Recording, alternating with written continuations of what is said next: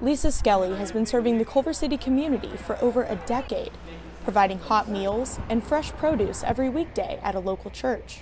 How about tomatoes? Okay. And um, green beans? Grace Diner started in response to the 2009 recession, serving about 110 meals a week in a restaurant style format. But because of the pandemic and the need for social distancing, Grace Diner had to adapt.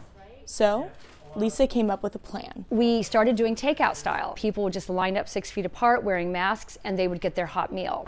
The Grace Diner serves about 180 hot meals every day of the week out of Grace Lutheran Church. And as you can see, the need is very evident. We still have about an hour until service begins, and lines are already beginning to form. Skelly and her team of volunteers do so much more than serve meals. We do mental health check ins, we know everyone by name. Everyone here in line has their own story, and part of volunteering here is just kind of getting to know everyone and getting to know their story. That also just helps us get a better understanding of the extent of the problem in Culver City and then how we can solve it.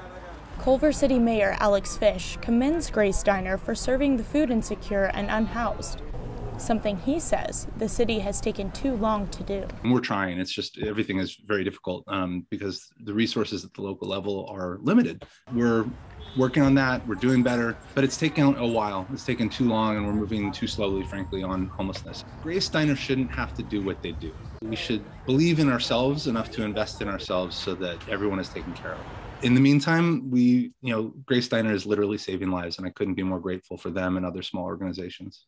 Grace Diner relies on donations and help from local organizations like Feed Culver that source meals from local restaurants, then distributes to those in need. But even that help is slowing down. That has been going on for 14 months, which has been unbelievable, a huge help to Grace Diner.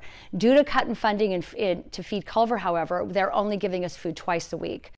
Keeping up with the demand is a constant challenge. We're in dire need of money, dire need of donations. Food insecurity is not going away because the pandemic is winding down. To support Grace Diner and other organizations dedicated to serving the underserved, donations can be made at feedculver.org. For Annenberg Media News, I'm Kimberly Guest in Culver City.